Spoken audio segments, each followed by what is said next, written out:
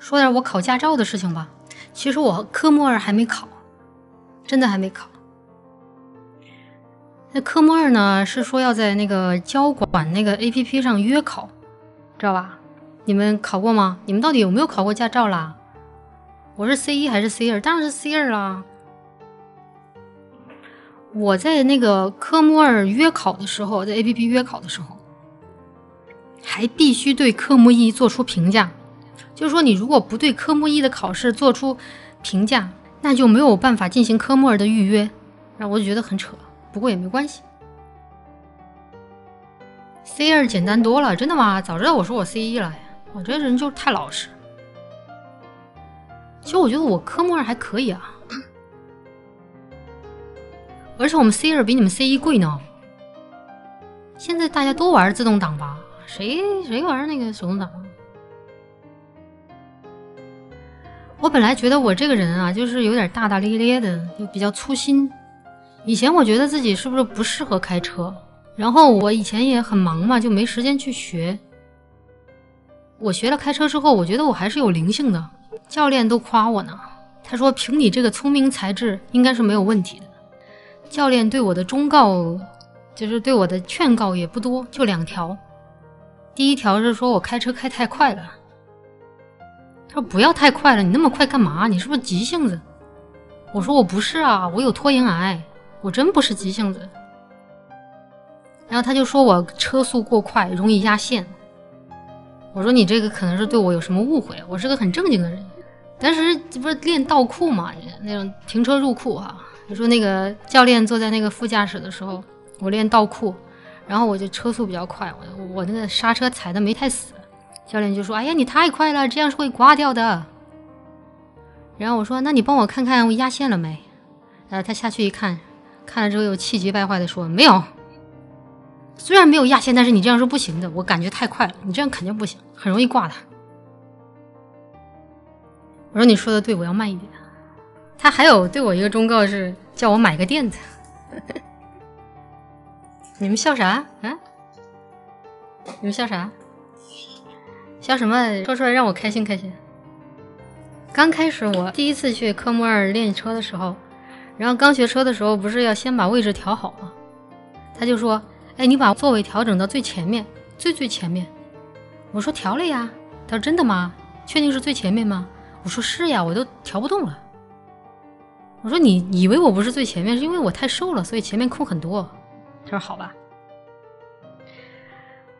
然后他又教我调整反光镜，调整调整各种各样的位置。他说：“你能不能看到前面的车盖呀？车前盖？”我说：“能啊。”他说：“你说实话。”我说：“真的能啊，白色的，对吧？”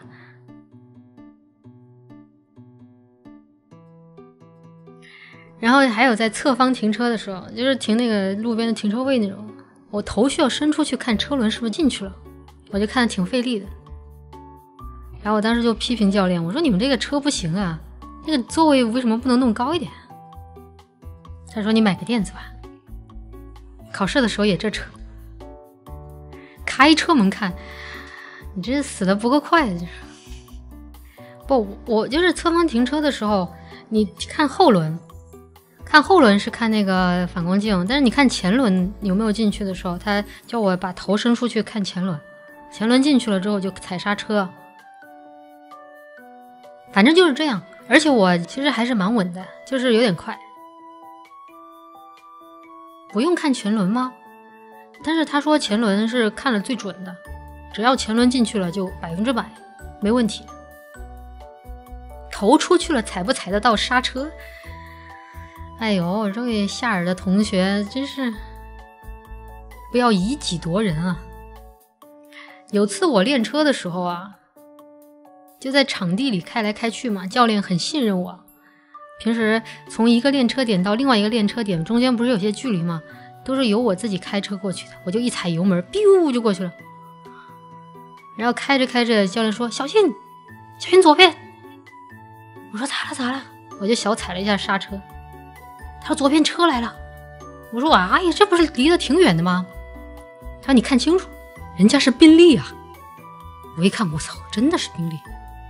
我说啥车呀？这这驾校收了多少钱还能开宾利呀？我说我我我我能我能升舱吗？对吧？我多交多交两千块钱，我能开那车吗？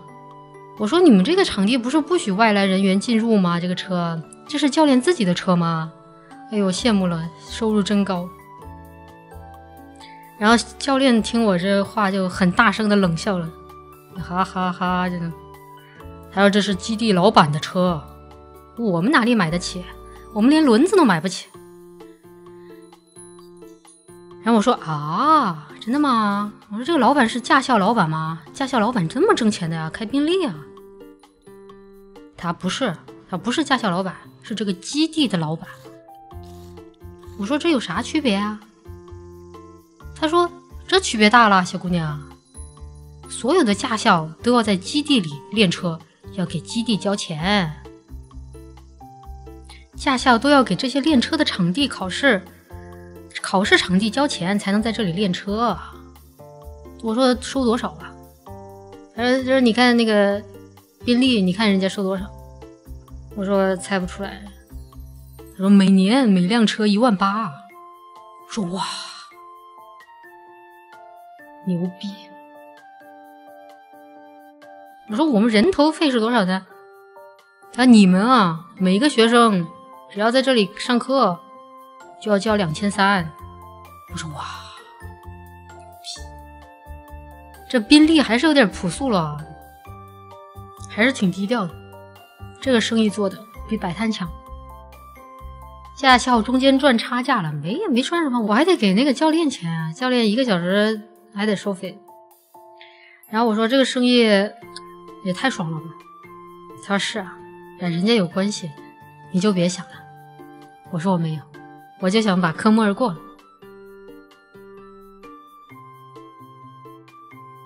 不是我跟你说，驾校是不是一次性收费啊？我跟你说是，